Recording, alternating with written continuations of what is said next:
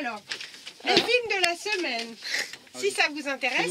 Donc, j'ai un film qui passe là, donc ce soir, Le bonheur est dans le pré sur C8 à 21h. Donc, film d'Étienne Châtillaise avec Michel Serrault, Eddie Mitchell, pour ne pas voilà, le citer. Comédie agréable sur le bonheur de vivre, sorti en 95. Super moment.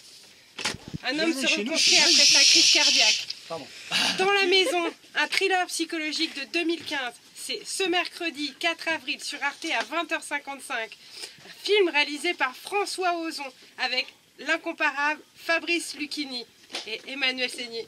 Un des meilleurs films du réalisateur. Un bon thriller psychologique. Hop.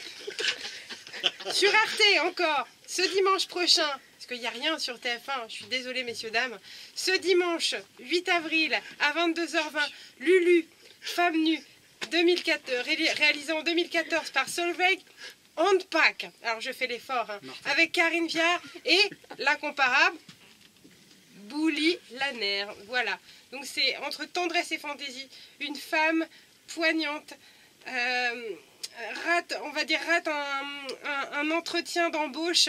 Elle part et elle ne revient pas en fait, c'est en bord de mer et euh, elle décide, elle a raté son embauche, donc elle reste sur place, elle se remet en question. Et là, elle fait une rencontre magique, elle se déconnecte et, et l'amour naît. C'est beau ça. Voilà.